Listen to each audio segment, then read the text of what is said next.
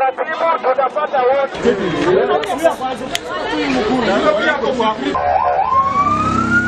advantage. Watu watu waachilie tuende kazi. Kama kuna korona Kenya tuende kazi, hatuwezi kurundikana kwa geti ya chifu, Tunangoja msaada. Na hakuna hiyo msaada tunapata. Kama hakuna hakuna kazi, si tunaishi kwa manyumba. Kama hakuna korona Kenya, serikali tuachie si tuende makazi zetu.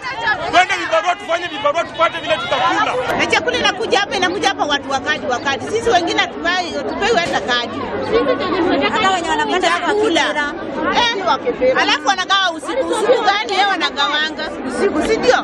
Ati saa nane, kama una kadi uingie hapa, kama una kadi uingie hapa.